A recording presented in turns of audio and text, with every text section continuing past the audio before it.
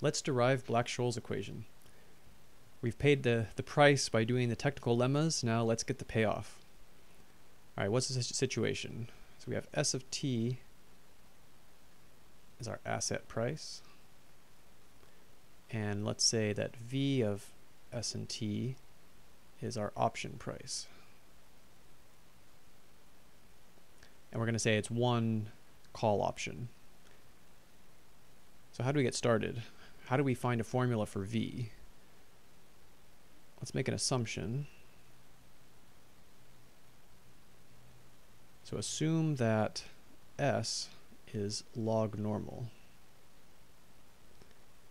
So we saw that before. What does that mean? That means that ds is the drift plus the volatility. All right, so here is the drift is proportional to the size of the, the asset, and then the volatility is also proportional to the, to the size. And this gives the log normal random walk. Now the fundamental idea of the Black-Scholes equation is that we go long, if I can write, go long the option and short the asset. And in particular, we want to do take some position, so I'm going to call the position pi. So it's going to be long the asset, or long the option, and then short some proportion of the asset. And the proportion we're going to call delta. So delta is going to be, you know, our, our hedge, hedging factor.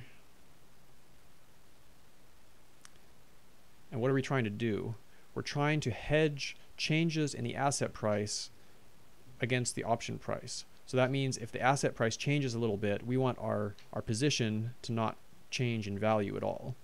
And it turns out we're going to have to keep rehedging every time step. So this is a, a dynamic hedge. And what is it? So we, we haven't got to the point where we know what delta is yet, but we're, we're going to figure out what delta is pretty soon. So let's take a derivative here. So the change in our the value of our portfolio is just going to be dv minus delta ds, just taking a derivative. And now what's dv? dv we can use Ito's lemma.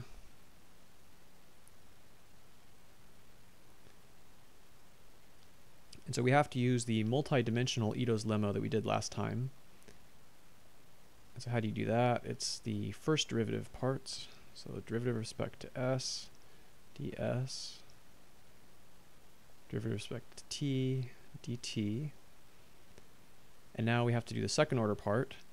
And if you remember, so here is, this is our formula for ds.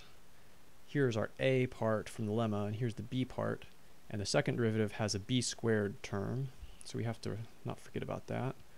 So we have a half sigma squared s squared partial of v with respect to s squared dt. So Ito's lemma gives us this formula for dv. So now we can write d pi, expand that out a bit.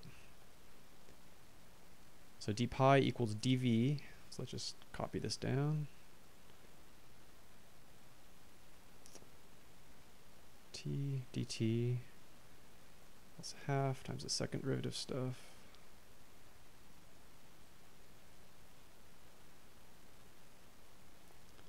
Then minus delta ds. Okay. Let's collect up terms now equation's getting a bit messy. So let's collect up the ds terms first. So we get a partial of v with respect to s minus delta ds. And now let's collect up the dt's. And so we get a v with respect to t plus half sigma squared s squared partial of v with respect to s, second derivative dt.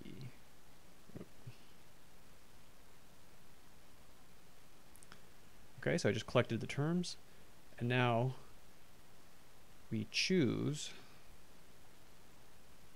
delta equals to partial of v with respect to s. And so this choice means that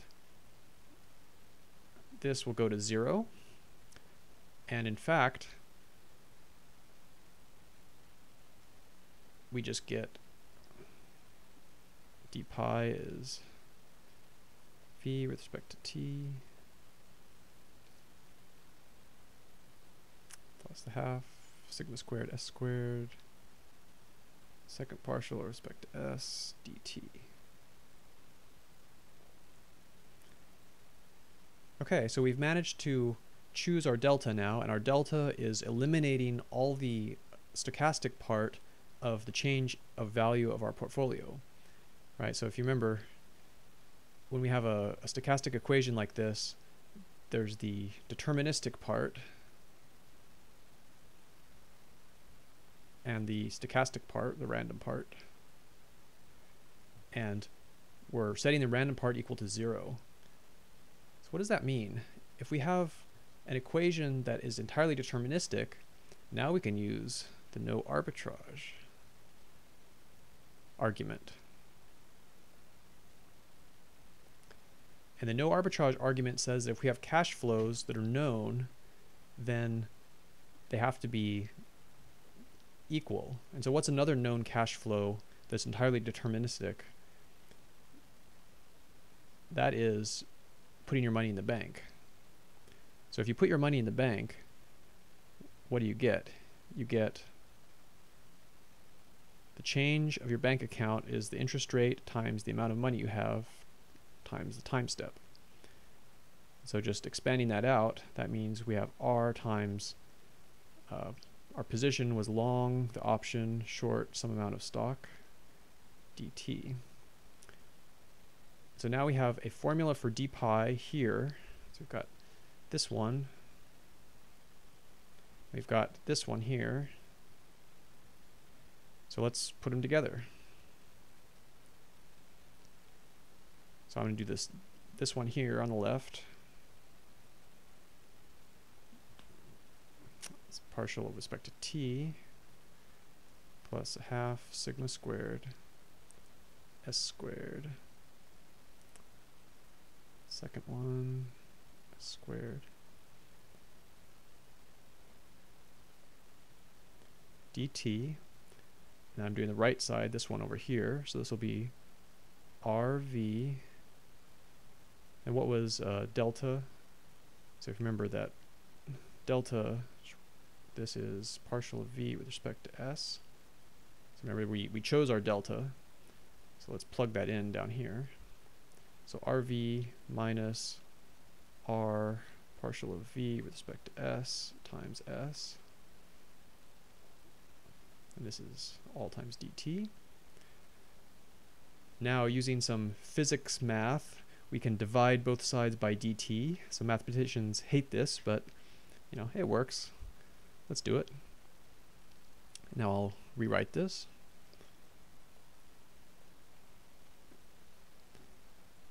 So sigma squared s squared, second derivative with respect to s squared equals rv minus r partial with respect to s times s. And now I'm just going to move everything to the left-hand side. Nothing too exciting. Respect to t, sigma squared s squared, second partial with respect to s. Now plus r s partial of v with respect to s minus rv equals 0. So I just moved everything to the left, and look at that. We have the Black-Scholes equation. Here it is.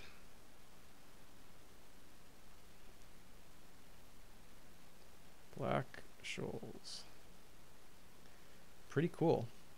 So I'm going to review this just because I want to remember this. This is good. So we started with the asset and the option. We assumed that the asset was log normal random walk, so that gives us this formula. Black-Scholes, we take a position that's long the option and short some quantity of the asset. So here's our position, and the change of our asset position uh, of our position is going to be here. Then Ito's lemma lets us write a formula for our change of asset of the change of our position, and we choose our delta in order to make the random part of our d pi go away. And so choosing delta within this time step eliminates the randomness at the time step. And so we get a deterministic uh, d pi. Then, because we've eliminated the randomness, we can use a no arbitrage argument to say this cash flow must be the same as money in the bank. And so here's money in the bank. Put these equal and sub, you know substitute everything in. We get this equation.